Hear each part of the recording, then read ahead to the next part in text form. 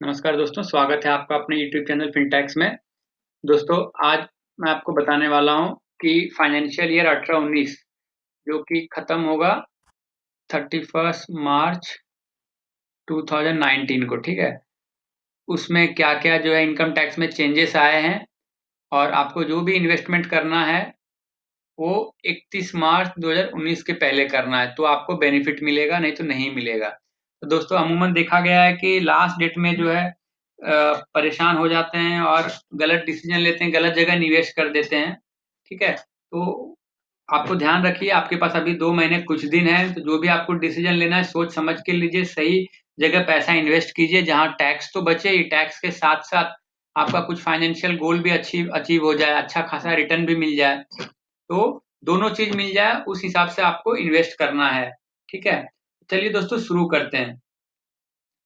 दोस्तों, जो चेंजेस आए हैं, वो सबसे बड़ा जो चेंज आया है वो आया है सैलरी इनकम में।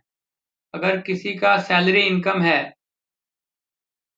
ठीक है तो उसको गवर्नमेंट ने कंसेप्ट लाया स्टैंडर्ड डिडक्शन का। वो पहले भी होता था बीच में, इसको विड्रॉ कर लिया था, वापस से इंट्रोड्यूस लाया। इस बजट 2018 से, जो कि जो साल चल रहा है, अठारह उन्नीस, उसके लिए एप्लीकेबल होगा, जो अगला अगला रिटर्न फाइलिंग होगा उसके लिए। तो गवर्नमेंट ने कहा कि जो सैलरी वाले हैं, उनको हम लोग चालीस हज़ार का पर एनम साल का हम लोग देंगे उनको स्टैंडर्ड डिडक्शन ठीक है? कोई पेपर नहीं देना, कोई पॉलिसी नहीं लेना, कुछ नहीं करना, कहीं इन्वेस्टमेंट नहीं करना, सीधा चालीस हज़ार डायरेक्ट इनकम में से माइनस हो जाएगा सैलरी इनकम में से। अब दोस्तों, ये तो बेनिफिट दिया, लेकिन कुछ बेनिफिट जो पहले था, वो बेनिफिट गवर्नमेंट ने छीन लिया। जैसे कि पहले जो सैलरी इनकम जिनका होता था, उनको बेनिफिट मिलता था ट्रांसपोर्ट अलाउंस का, ठीक है? वो 1600 पर मंथ मिलता था। तो इंटू ट्वेल्व करेंगे तो ये 19,200 का ये बेनिफिट मिलता था। और एक और बेनिफिट मिलता था वो था मेडिकल रीइंबर्समेंट मेडिकल के बिल्स अगर आप सबमिट कर देते हैं तो वो पंद्रह हज़ार का बेनिफिट मिलता था। टोटल ये बेनिफिट होता है thirty four thousand two hundred ये तो पहले मिलता था लेकिन गवर्नमेंट ने बोला नहीं हम आपको स्टैंडर्ड डिडक्शन दे रहे हैं। तो ये जो बेनिफिट आपको मिलता था पहले, वो बेनिफिट नहीं मिलेगा। ठीक है? तो चौंतीस हज़ार दो सौ रुपया ले लिया और चालीस हज़ार दे दिया। तो फाइव थाउज़ेंड एट हंड्रेड का गवर्नमेंट ने बेनिफिट दिया। ठीक है? तो इससे जो एम्प्लॉय लोग हैं सैलरी वाले हैं, बेचारे को कुछ ज़्यादा कुछ पसंद नहीं आया, क्योंकि पहले तो इतना मिलता ही था, अब ये थोड़ा सा ज़्यादा बेनिफिट है, जो कि ना के बराबर है। कुछ ज़्यादा उसके कोई खुशी की बात नहीं है सैलरी वालों के लिए।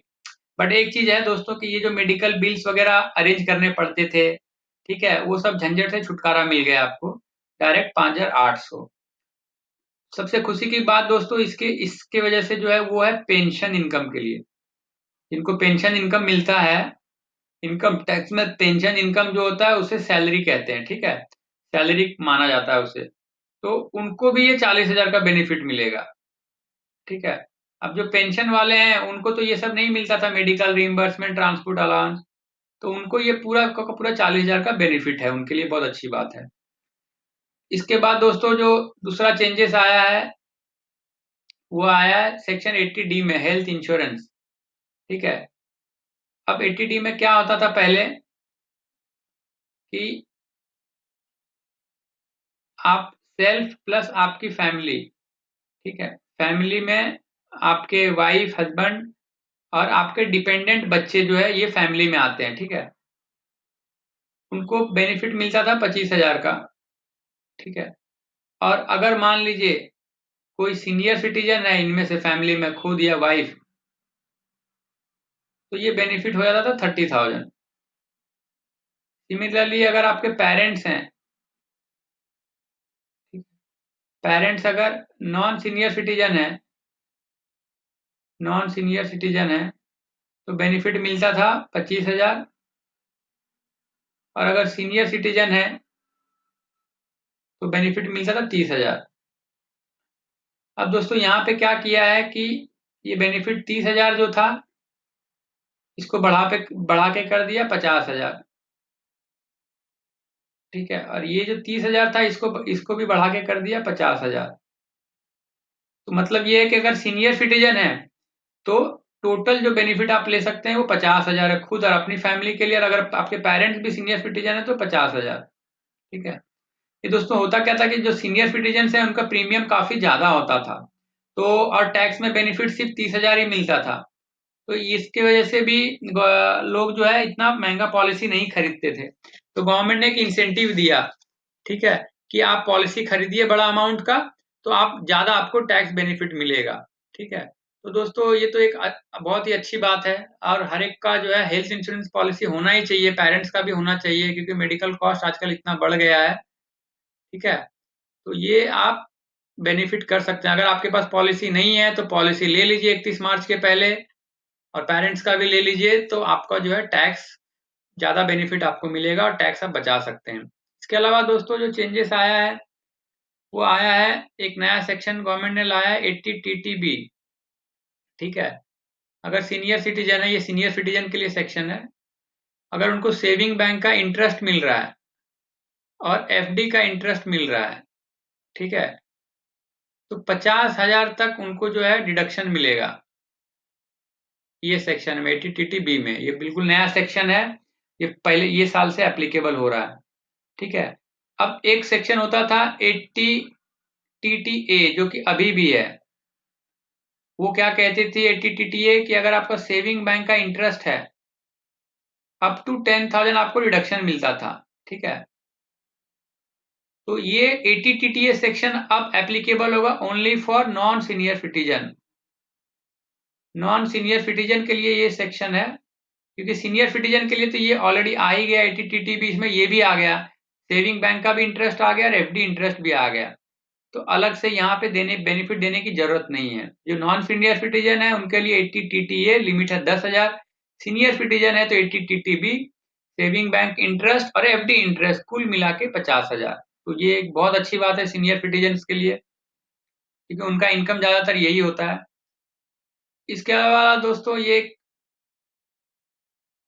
जो एजुकेशन सेस होता था पहले, वो लगता था थ्री परसेंट जो टैक्स और सरचार्ज पे लगता था, उसको गवर्नमेंट ने बढ़ा के कर दिया है हेल्थ एंड एजुकेशन से, वो कर दिया चार परसेंट तो एक परसेंट बढ़ा दिया है, ठीक है? ये तो दोस्तों मेजर जो चेंजेस थे, वो मैंने आपको बता दिया। इसके अलावा दोस्तों आप टैक्स बचा सकते हैं, और भी सेक्शंस है, मैं सारे सेक्शन तो कवर नहीं कर पाऊँगा, जो इम्पोर्टेंट है वो कर लेता हूँ। आप एटीसी में जो है total one lakh fifty thousand invest करके आप डिडक्शन क्लेम कर सकते हैं। तो 31 मार्च के पहले इसमें क्या क्या आता है? इसमें बहुत सारे चीज़ आते हैं। आपका होम लोन हो गया, उसका जो प्रिंसिपल होता है वो इसमें आता है। ठीक है? आपके बच्चे का स्कूल फ़ीस इसमें आ जाता है।